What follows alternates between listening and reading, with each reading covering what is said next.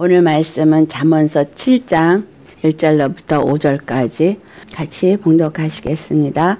내 아들아 내 말을 지키며 내 계명을 간직하라. 내 계명을 지켜 살며 내 법을 내 눈동자처럼 지키라.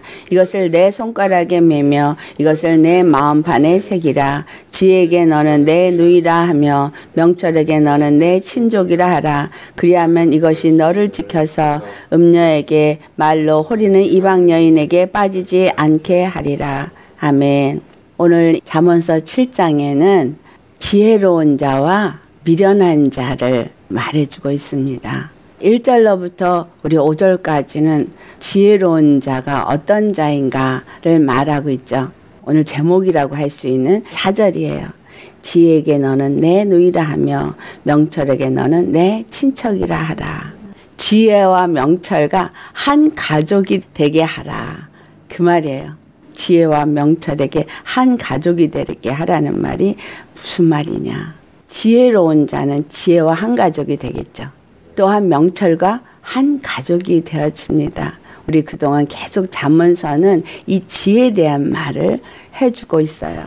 지혜가 무엇인가? 지혜는 하나님의 지혜고 하나님의 지혜는 이 땅에 오신 우리 주 예수 그리스도가 바로 하나님의 지혜이고 하나님의 명철이다. 그런데 그 지혜와 명철이 어디서 드러났느냐 하면 십자가에서 드러났다.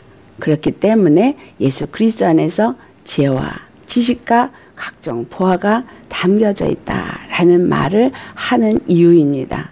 지혜와 지식과 각종 보화가 담겨져 있다라는 말은 예수님이 우리가 보지 못한 하나님의 현현이기 때문에 아버지를 본 자가 없지만 아버지가 육체를 입고 우리 가운데 오셨다라는 거.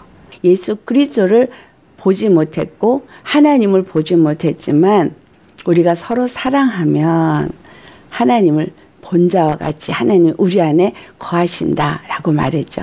지혜와 하나가 되어지고 명철과 하나가 되어진다는 건 예수 그리스도와 하나가 되어지는 것을 우리에게 말해주고 있다라는 걸 알 수 있습니다. 예수님과 하나가 되어지는 것. 예수님 안에 내가 거하고 예수님이 내 안에 거함으로 말미암아 그 예수님 안에 있는 사랑이 예수님 안에 있는 지혜와 예수님 안에 있는 명철이 내 안에 있게 되어진다는 거예요. 예수님과 하나가 되어지는 게 바로 지혜와 하나가 되어지는 거고 명철과 하나가 되어진다는 거예요. 누이라 부른다는 그 말이 결국은 무슨 말이죠? 한 피로 낳은 자, 한 젖을 먹는다. 한 아버지를 두었다는 거예요. 한 아버지와 한 어머니를 두셔서 우리가 그 안에서 젖을 먹고 그 안에서 같은 피를 가졌다라는 거죠. 한 아버지가 예수 그리스도. 우리 주 예수님이 그 피로 나를 낳으셨으니까. 그래서 예수님 안에 속하면 우리가 하나님 안에 속한 자가 됩니다. 예수님은 하나님께로부터 나오신 분이잖아요. 하나님께로부터 나와서 십자가에 죽으시고 부활하셔서 하나님께로 다시 들어가셔서 보좌에 앉으셔서 천지 만물을 다스리신 분이세요. 우리는 예수님의 피로 나와서 그 피로 하나님의 자녀가 되어진 거죠. 그래서 하나님의 아들이다라고 말해요. 하지만 우리의 소속은 예수 그리스도 안에 속한 자가 되어지고 예수 그리스도는 하나님께 속한 자가 이렇게 말하는 거죠. 예수님 안에서 내가 그 피로 나음을 입은 자면 그 어머니로부터 같은 젖을 먹는 거죠. 아버지의 같은 피를 가진 자고 그러니까 예수님의 같은 피를 가진 자, 즉 하나님의 피를 가진 자. 아버지를 하나님으로 표현한다면 어머니는 성령님이라고 표현할 수도 있겠죠. 왜냐하면 성령님이 우리를 말씀으로 계속 양육하고 있으니까 말씀을 우리에게 주니까 말씀의 젖을 먹고 말씀의 진액을 받아 먹고 우리가 자라나니까 지혜로운 자는 누구냐 예수 그리스도와 하나가 된 자. 그래서 같은 아버지와 같은 피를 나누고 같은 젖을 먹는 자가 되어지는 것을 의미하고 있구나. 예수님이 이 땅에 오셨을 때에 요한복음 4장 34절에 내 양식은 아버지의 뜻을 이루고 온전케 하는 것이라 라는 말씀을 했거든요. 아버지의 뜻을 이루고 온전케 하는 게 예수님의 양식이라면 이 땅에 살고 있는 우리가 또 예수님과 한 가족이 되어준 우리가 해야 될건 아버지의 뜻을 이루고 온전케 하는 것이라는 거예요. 근데 아버지의 뜻이 뭐예요? 예수 믿는 모든 사람들이 영생을 얻는 거. 그러면 여러분 우리는 반드시 예수 믿고 영생을 얻는 자가 되어야 돼요. 그러니까 아버지의 뜻을 이루기 위해서 내 안에서 생명이 이루어지는 것, 내 안에서 주님의 역사가 이루어지고 생명이 나타나지고 주님의 은혜로 말미암아 변화되어져 가는 거 그게 영생에 이르는 길을 가는 거잖아요.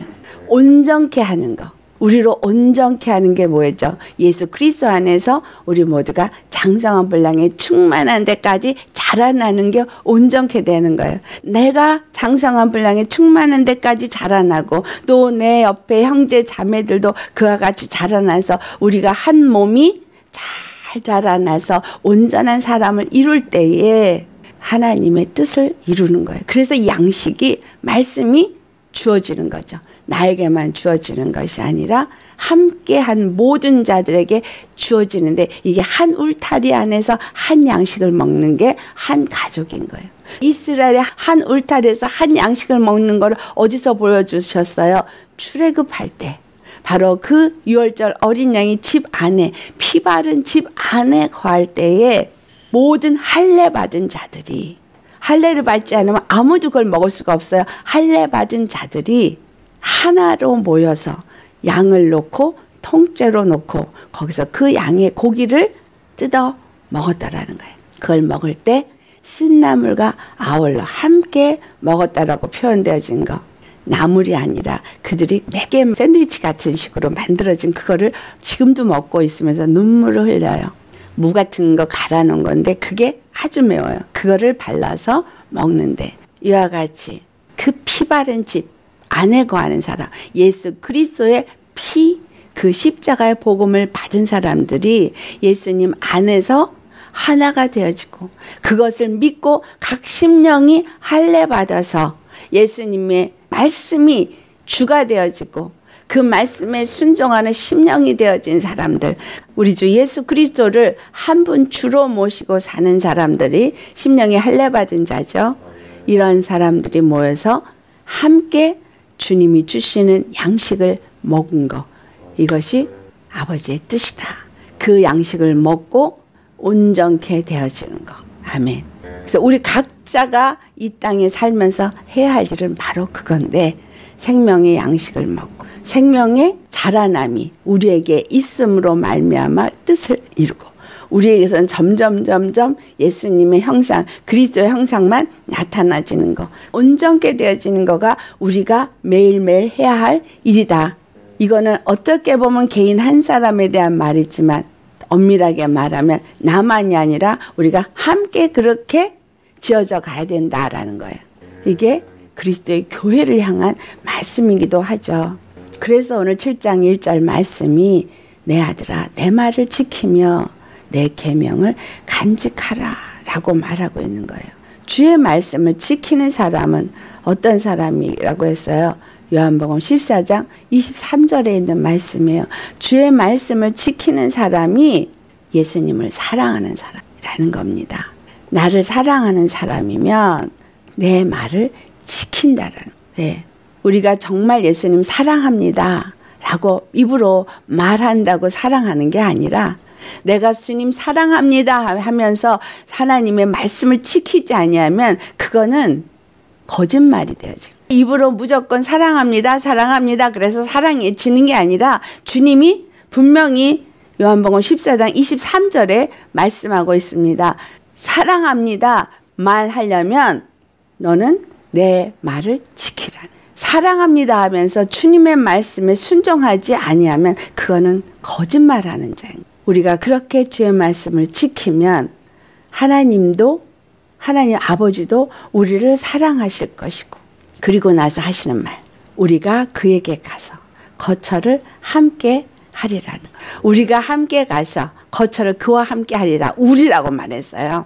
성부, 성자, 성령님이 그와 함께 거처를 함께 한다는 거예요.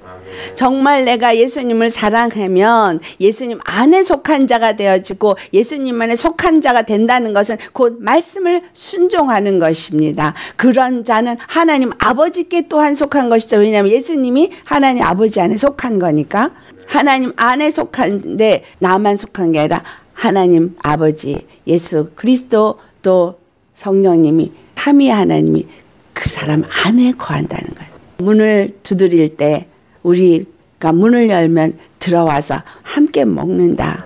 라는 말씀, 우리 안에서 생명의 떡을 먹고 생명의 말씀을 먹을 수 있게 하는 것은 바로 그분이 우리 안에 거하시면서 우리에게 그것을 같이 나누어 먹는 것이기 때문이라는 거예요.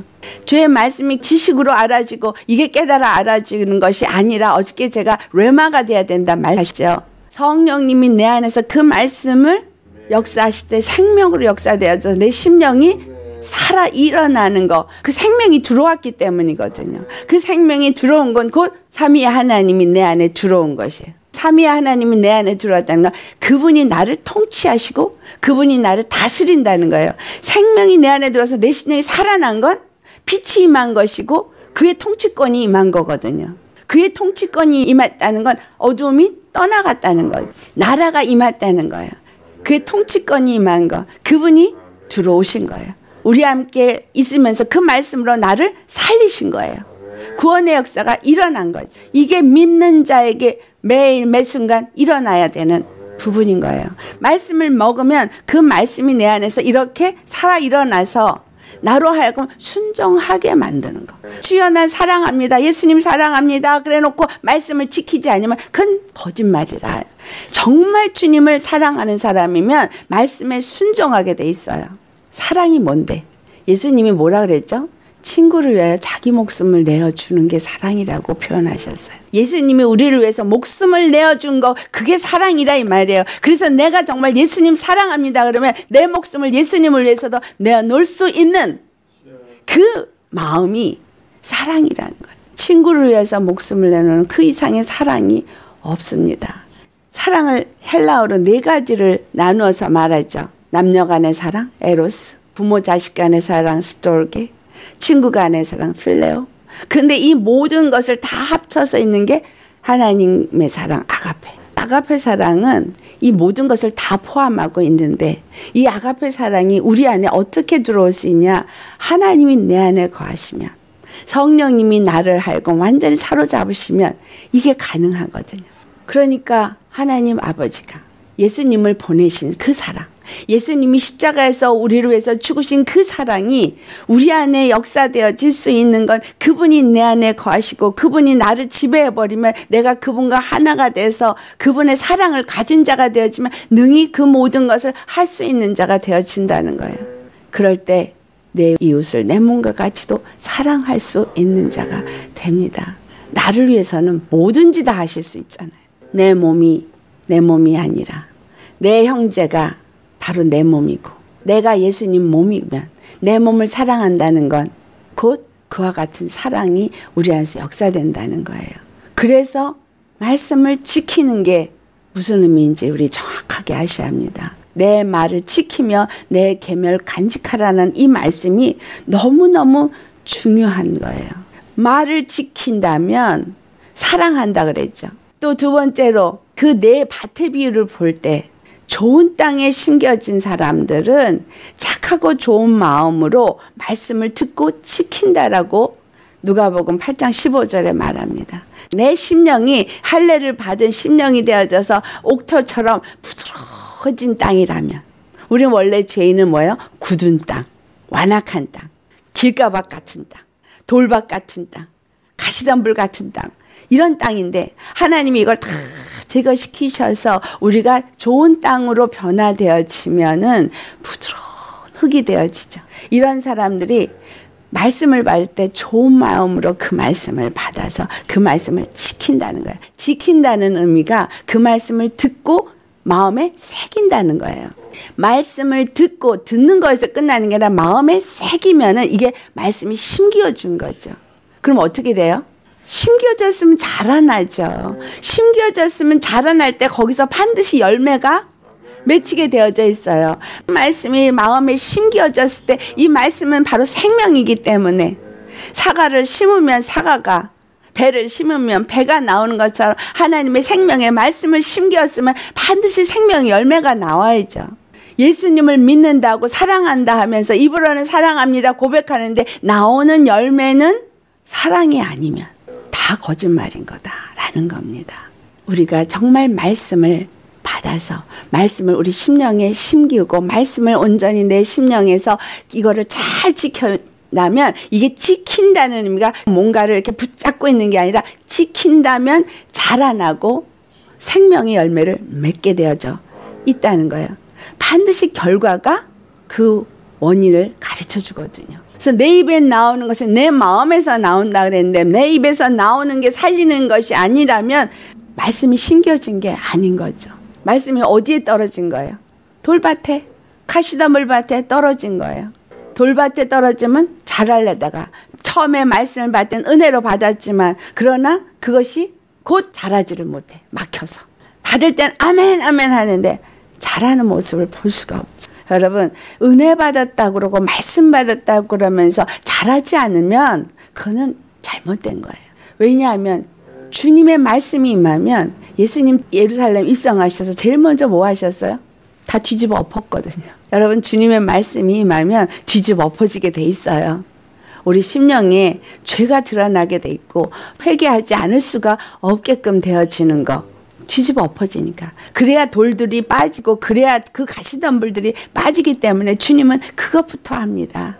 말씀이 임하면 임할수록 우리 심령이 부드러워지기 때문에 겸손해질 수밖에 없는 거죠. 주님 겸손하게 해주세요. 그러면 사랑의 마음을 갖게 해주세요. 그럼 무슨 일이 일어나요? 열심히 우리 안에 있는 죄가 드러나는 일이 일어나고 그것을 발견하고 회개할 일만 자꾸 생겨요. 그러면 아니 내가 사랑 달랬는데 겸손하게 해달랬는데 왜 이런 일만 일어나고 있어? 그러는데 사실상 그게 기도 응답이 일어나고 있는 겁니다. 착하고 좋은 마음으로 그 말씀을 받은 사람이 어떻게 되겠어요? 아멘 하죠. 아멘. 착하고 좋은 마음으로 여러분 아멘 잘하시죠. 아멘. 그러면 지키는 자가 되어지는 거예요. 그러면 지킬 때 하늘의 미랄이 땅에 떨어지면 그 미랄이 썩고 껍질이 벗겨져야 되거든요. 그래서 그 다음에 하는 말이 인내로 결실하는 자라고 말해요. 착한 마음으로 그 말씀을 받아서 그 말씀을 마음에 심기고 그걸 지켰다면 인내로 결실한다는 거예요. 십자가에 매일 죽는 인내로 결실이 되어지는 것이지 인내 없이 결실이 없다는 거예요. 근데 못 참아요. 못 참아. 뭐 말만 들어도 포록 하고 바로 반응하지. 우리 인내. 그냥 죽은 게 인내죠. 예수님도 죽으셨어. 예수님도 참으셨어. 나도 죽었어. 나도 참어. 인내로 쭉 여기 올라오면 아버지 아직도 내가 이거 뽑아지지 않은 게 있습니다. 이거 뽑아 주시옵소서. 부드러운 밭, 좋은 밭 되어져서 주의 말씀만이 내 안에 심겨지고 주의 말씀에 그 생명의 열매만이 결실할 수 있도록 주님 나는 십자가의 축소입니다. 십자가의 길만 갑니다. 주님의 말씀을 지킨다는 게 이렇게 쉬운 게 아닌 거죠. 근데 우리는 주님의 말씀을 지켜야 돼. 말씀을 여러분 받았으면 받았는데 언제 받았지? 그러면 안 되고 이 말씀이 안에서 콕콕 심겨져서 생각이 나야 되는 거예요. 신명기 11장 28절 한번 찾아보시겠어요? 신명기 11장 28절 말씀. 우리 신명기 11장 28절 말씀 같이 봉독하시겠습니다. 너희가 만일 내가 오늘 너에게 명령하는 도에서 돌이켜 떠나 너희의 하나님 여호와의 명령을 듣지 아니하고 본래 알지 못하던 다른 신들을 따르면 저주를 받으리라. 하나님의 말씀을 지키지 않으면 그 명령의 도에서 떠나면 분명히 저주를 받는다고 말하고 있어요. 이스라엘에게만 한 말이 아닙니다. 오늘 말씀을 받고 십자가의 도의 말씀을 받고 예수님을 믿는다는 우리들에게 주시는 말씀이에요. 그래서 말씀을 지켜야 하고 그 뭔가 이렇게 율법을 행하려고 하는 걸 말씀을 지키는 거라고 생각하시면 안 됩니다. 말씀을 지킨다는 거 분명히 말했죠. 주님을 사랑한다는 사람 그 말씀에 순종하는 거니까 사랑하는 마음을 가진 사람 그렇게 되어지는 사람은 좋은 마음으로 그 말씀을 받아서 인내로 결실하는 사람 이런 사람이 말씀을 지키는 사람 예수님을 사랑하는 사람이다 라고 이 말씀이 정리를 해주셨습니다. 그렇지 않는 사람은 저주를 받는다는 거예요. 주님을 사랑하지 않는 사람이 곧 미련한 사람이 주님을 사랑하지 않은 건 세상을 사랑한 사람이 곧 미련한 사람이다 이 말이죠. 그러려면 내 계명을 지키는데 어느 정도로 지키라고 말했냐 하면 2절에 내 계명을 지켜 살며 내 법을 내 눈동자처럼 지키라. 그 계명을 지켜 사는 거 율법의 행위를 하라 그 말이 아니라 주님의 말씀을 목숨처럼 내가 지키려면 주님을 사랑하는 마음이 내 안에서 떠나면 안 되는 거죠. 그런데 이 법을 눈동자처럼 지키라고 말했어요. 자, 눈동자처럼 지키라는 이 말씀. 계명을 지키면 영원히 살리라고 이사에서 55장 3절에 이 계명을 지키는 사람들은 그 영혼이 산다라고 말하고 있거든요. 우리가 귀를 기울여서 주님의 말씀을 들어야 하는 거, 주님의 말씀을 듣는 거는 그 말씀을 순종하기 위해서 듣는 거예요. 셔마. 그래서 그 계명을 듣고 그 계명을 지키려고 내가 주님을 사랑하는 마음으로 그 말씀을 지키는 순종하는 자가 되어질 때 내 영혼이 산다는 거죠. 그러니까 이 말씀이 신약의 마태복음 6장에 나와요. 우리 눈은 22절에 몸의 등불이라고 했거든요. 눈이 몸의 등불이다. 이 몸이 성하면 하나님의 복 가운데 거한 거예요. 그러니까 눈이 밝으면 몸이 성하고 23절에 있는 말이죠. 눈이 어두우면 몸도 어두워지는 거예요. 주님의 말씀을 받은 자, 심령에 빛이 있는 자죠. 그런데 주님의 말씀을 받았다는데 금방 훅 꺼져버리면 어떻게 돼야 돼요? 금방 또 밤이 온 거예요. 주님의 말씀을 받고 이 말씀이 내 안에서 지켜지면 불이 계속 펴진 거잖아요. 여러분 성소의 불을 절대 꺼지지 않게 하라 그랬거든요. 우리 심령이 성소거든요. 성소에 불이 꺼지지 않게 아침으로 저녁으로 점검을 해야 되고 가위가 있어서 불똥을 다 잘라내서 불이 항상 환하게 비치게 하라 그랬어요. 내 심령에 불이 항상 밝혀 있어야 된다는 거 빛이 있어야 되는 거예요. 그 촛대를 우리가 성령으로 의미한다고 말하잖아요. 근데 그 촛대가 떡상을 향해서 비추고 그 다음에 분양단을 향해서 비추라고 되어져 있어요. 내 심령 안에 성령님이 거하시고 빛이 거해야 말씀이 조명이 되어져서 말씀이 깨달아 알아지고 기도를 할 때에도 기도가 성령님 안에서 기도하게 되어지니 내 심령은 항상 빛이 환하게 있어야 한다라는 거예요. 그래서 눈이 밝아서 이 온몸이 밝아지는 거. 말씀을 지키는 자의 의미예요. 말씀을 지키는 것. 말씀이 내 심령을 주장하게 하고.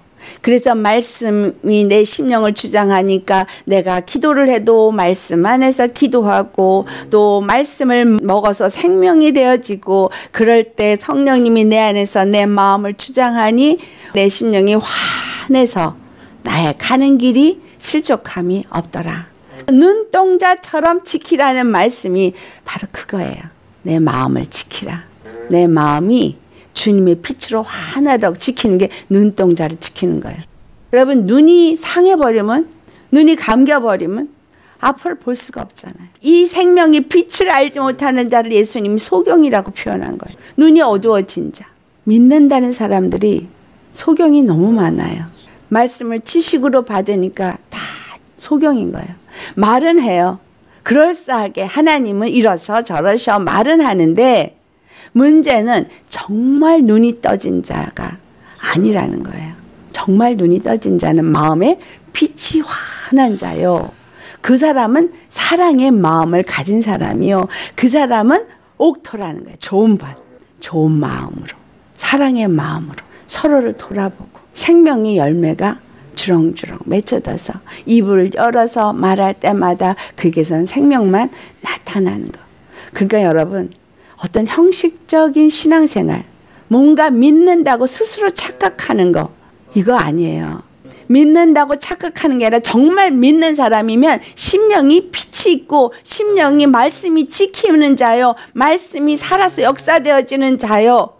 생명의 열매가 나타나는 자가 되어야 한다. 그 말입니다. 눈이 밝아야지만 되는데 그 눈이 밝아되는 걸 예수님이 마태복음 6장 24절에 두 주인을 섬길 수 없다고 말하거든. 눈이 밝으려면 내 심령에 반드시 예수님이 주인이 되고 빛이 주인이 되어줘야 되는 걸 말하시는 거구나. 세상의 것 사랑하고 세상의 재물을 사랑하는 걸 이미 죄에게 넘어간 거예요. 이미 주인이 예수님이 아닌 거예요. 마귀가 주인이 되어져서 그것을 쫓아가고 있는 사람, 세상을 쫓아가고 있는 사람은 이미 어두움이 그 마음 안에 지배하고 있는 거기 때문에 말씀을 지킨 게 아니에요. 말씀을 이미 빼앗긴 거예요. 그리고 말씀을 빼앗기면 눈은 당연히 어두워진 거니까 눈동자 같이 지키지 못한 거예요. 여러분의 심령 속에 말씀을 지켜야 되는 건 바로 내 눈을 눈동자처럼 지키는 거고 내 눈이 밝아서 잘 보고 잘 가기 위해서 이 말씀이 지켜야 되는데 이 말씀이 바로 촛불이라는 거예요. 촛불. 불이 항상 켜 있어야 되는 촛불인 거예요. 근데 촛불은 어떻게 해요? 기름이 없으면 절대 지킬 수가 없어요. 성령님이 아니면 촛불이 불을 밝힐 수가 없어요. 그래서 미련한 자와 슬기로운 자를 얘기해 주신 거예요. 기름이 준비되려면 내 안에 늘 말씀이 생명으로 역사되어지는 성령님의 도심이 있어야 되어져요. 성령으로 인도받아 성령으로 이끌림을 받는 자가 아니면 말씀이 영으로 들어오지도 않고 말씀이 영으로 선포도 되지 아니하고 말씀이 내 안에서 생명이 될 수도 없고 말씀을 내가 지켜서 불을 밝힐 수도 없다는 거예요. 그렇지 않기 때문에 이 심령이 가시덤불 바치면서 말씀 있다고 말씀으로 심령에 돌밭이 있으면서 그러니까 뭐가 돼요? 쓴뿌리가 옆에 사람들도 더럽힌다는 거예요.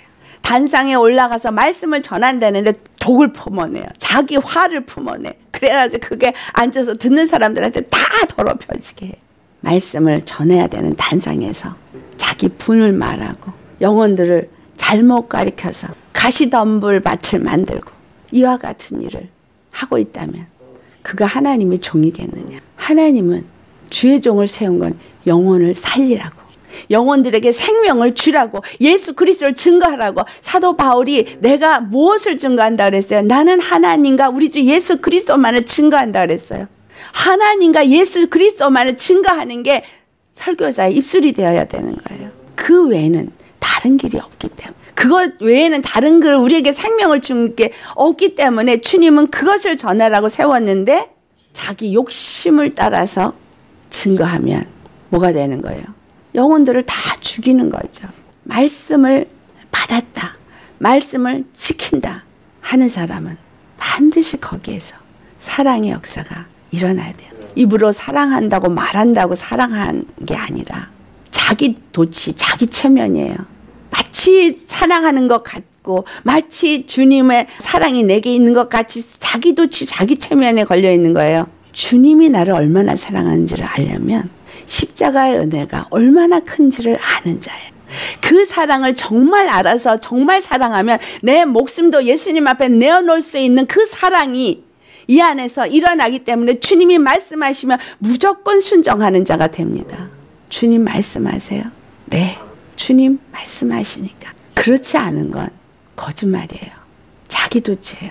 우리 주님 안에서 정말 사랑하는 심령은 아무리 박해가 오고 아무리 환란이 와도 이 십자가를 버리지 않아요. 그런데 마태복음 13장의 그 밭의 비유에서 돌밭 얘기할 때 말씀을 받았지만 환란이나 박해가 일어나면 곧 넘어지는 자라고 말해요. 내 안에 돌을 빼버리지 않으면 주님 사랑해요. 아우 감사해요. 이러고서 할렐루야 하면서 다 하다가 환란이나 박해가 오면 금방 넘어진다는 거예요. 그 다음에 가시덤불밭 세상의 염려, 재리, 유혹이 있으면 또 넘어지는 거예요. 우리가 이 마지막에 마지막을 준비하는 이때에 우리가 해야 할 일은 주님이 우리 안에서 하고자 하시는 일, 이 말씀을 지키라는 말씀 속에서 있는 거는 내 안에 있는 돌, 가시덤불, 정욕, 욕심, 육심의 그 사역들 이거 다 빼버리라는 거야. 빼버리고 예수 그리스도의 십자가의 사랑이 어떠한지를 아는 자가 되라는 거예요.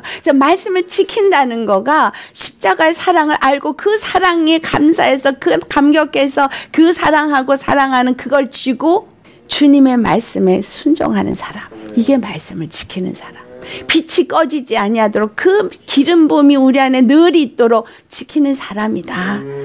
라는 겁니다. 근데 이 말씀을 어떻게 하라고 말해요. 3절을 보니까 내 손가락에 매며 이것을 내 마음판에 새기라 라고 말해요. 성경에 보면 이 손가락이 나와요. 우리 이 손가락 주님의 손으로도 표현되어지기도 하고 손가락으로도 표현되어지는데 내기에 이 손가락이 많이 나오는데 손가락으로 피를 찍어서 뿌리라 그래요.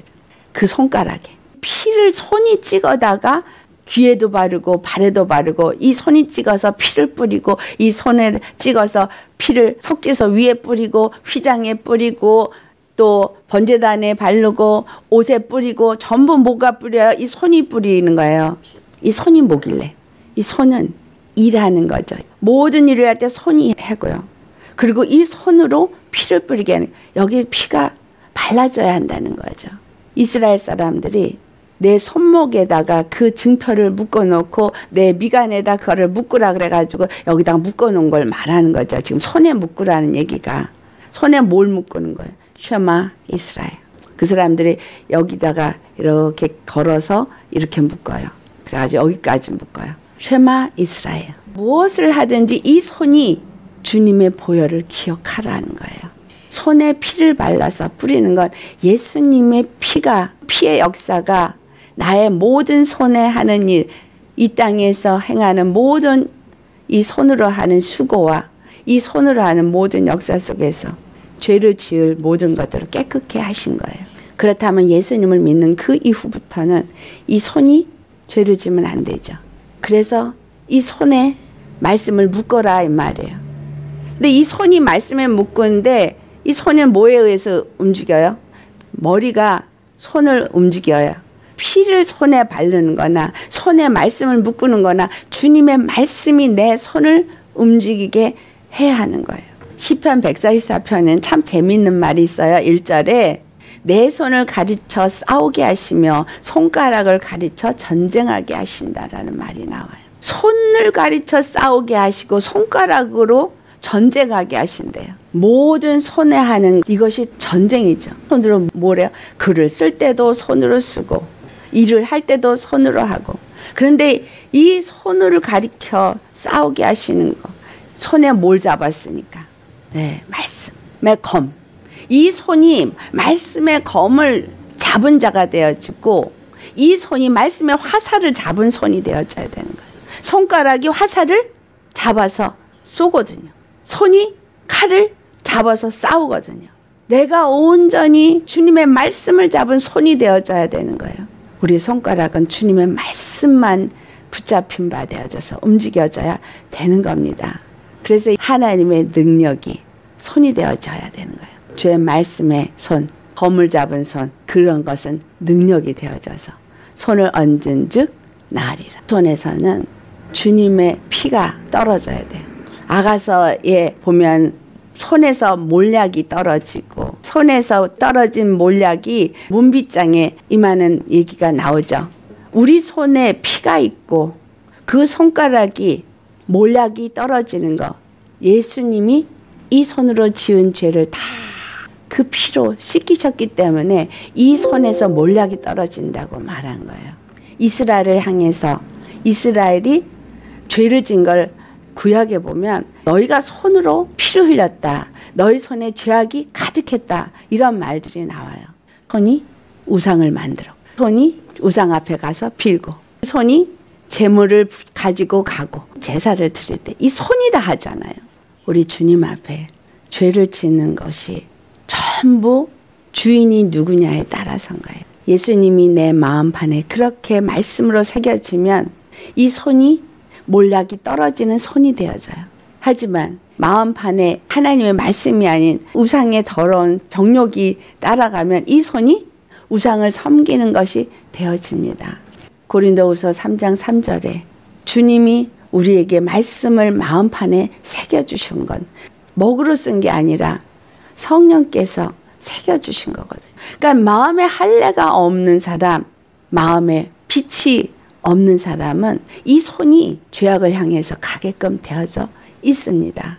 그래서 우리는 절대적으로 이 손이 하나님을 섬기는 몰락이 떨어지는 손이 되어져야 되는 거예요. 피뿌림이 떨어지는 자가 되어야 되는 거예요. 거룩한 피가. 우리 만인 제사장이라 그랬잖아요. 제사장의 손에는 피가 항상 뿌려지도록 왜냐하면 피에 잠그니까 이 손에서 모략이 떨어지는 손이냐. 예수님이 손에 못자국이 있고 못이 박힌 이유예요. 왜 손에 못이 박혔냐.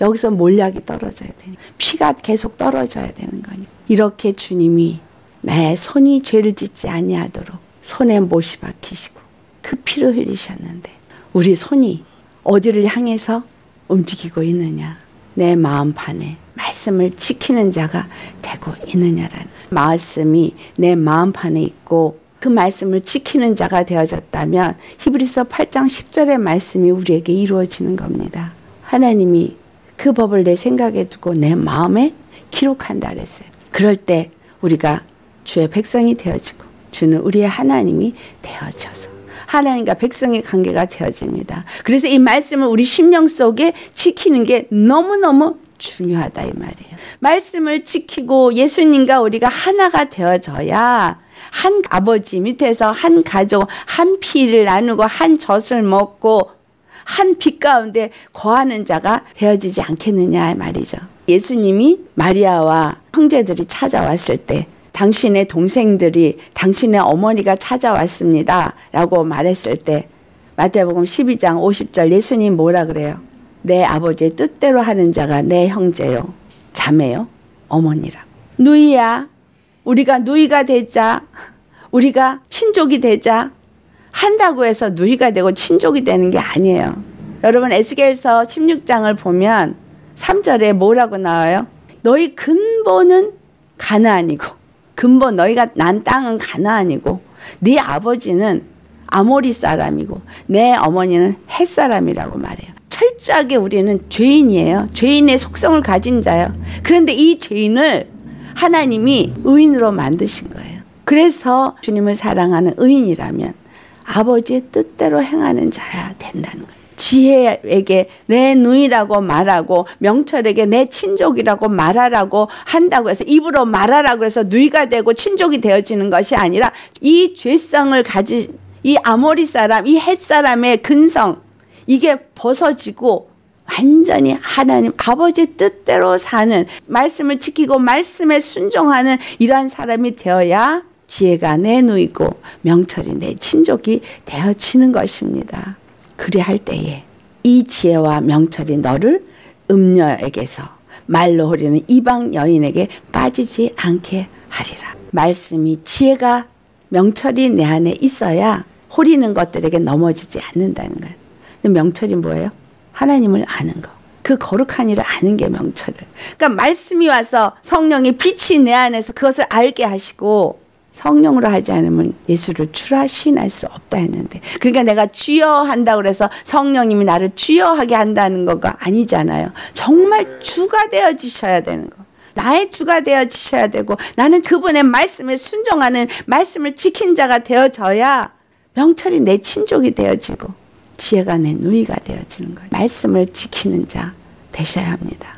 그래야 그 다음에 행하는 자가 되는 거죠. 말씀을 지켜 행하낸다고 율법을 지키려고 하고 율법을 행하는 것을 나는 지키는 거라고 말해요. 아니요. 참 믿음은 들음에서 나고 또 행함이 없는 믿음은 죽은 믿음을 이르면 한 이 행함은 바로 사랑을 의미하고 있는 겁니다. 주님을 사랑, 이웃을 사랑하는 그 사랑, 그게 행함이에요. 이것은 연합을 이루고요. 이것은 부드러운 옥토밭에서부터 나오고 인내하게 되어지고 궁휼하게 여기게 되어지고 참아 기다려 주고 그래서 일곱 번씩 일흔 번도 용서해 줄 수 있는 사람이 될 수 있는 거죠. 우리 주 안에서 말씀을 지켜 행할 수 있는 사람. 그래서 지에게 누이야 명철에게 친족이야 할 수 있는 자가 되어 지시기를 축원합니다. 이 말씀이 내 마음 안에 온전히 지켜질 때만 이방 여인의 허리는 미혹에서 넘어가지 않고 믿음을 끝까지 지킬 수 있습니다. 끝까지 믿음을 지키는 저와 여러분 되시기를 예수님으로 축원합니다. 이 말씀 생각하고 주님 앞에 감사로 간절한 심령의 고백으로 기도하겠습니다. 할렐루야 거룩하신 아버지 말씀을 지키는 것이 무엇이고 그 지혜가 우리 안에 있어야 하는 이유 어떤 것이 진실로 우리의 마음 안에 있는 것이고 지키는 것인가 오늘 분명하게 알게 해 주심을 감사드립니다. 예수님의 십자가의 은혜를 안다 입으로 말하면서 아버지 그 십자가의 은혜와 상관없는 마음이라면 그것은 거짓말이고 주님을 사랑한다 입으로 말하면서 그 사랑이 우리 마음에 없으면 그 또한 거짓입니다. 거룩하신 아버지요. 우리 진실로 십자가의 그 은혜와 사랑을 아는 자가 되어져서 우리가 주님 앞에 사랑한다 말하는 것이 아는 사랑의 고백이 되어질 수 있게 하시고 말씀을 우리 마음판에 지킨 자가 되어져서 말씀이 항상 우리 안에 빛으로 역사되어지고 그래서 어둠이 조금도 없는 온전한 빛 가운데 거하는 우리 심령 십자가에 나는 죽고 오직 말씀이 우리 안에서 나를 주장하는 그와 같은 자가 되게 하여 주옵소서. 우리가 말씀을 가진 자요 또 주님을 사랑하는 자라면 주님을 사랑한다 하였고 그 말씀을 지킨다 하였습니다. 말씀을 받은 것에서 끝나는 것이 아니라 아버지의 말씀을 지키는 자가 되게 하옵시고 이 말씀을 지킴으로 주님이 우리 안에 거하심으로 내가 하나님의 교회가 되고 하나님의 나라가 되어지고 빛 가운데 거하는 자가 되어지고 아버지의 잠언서 7장에 있는 이 말씀 하나가 성경의 전체에 있는 말씀을 다 우리에게 오늘 가르쳐 주셨습니다. 우리 마음 안에 촛불을 꺼지지 아니하도록 말씀을 지킬 수 있게 하시고 그 말씀이 우리 손에 있어서 손이 싸우게 하시고 손이 말씀에 온전히 주장되어져서 늘 빛 가운데 거하고 싸움에 승리하고 아버지의 뜻을 이루고 온전케 하는 자가 되어질 수 있게 하여 주옵소서.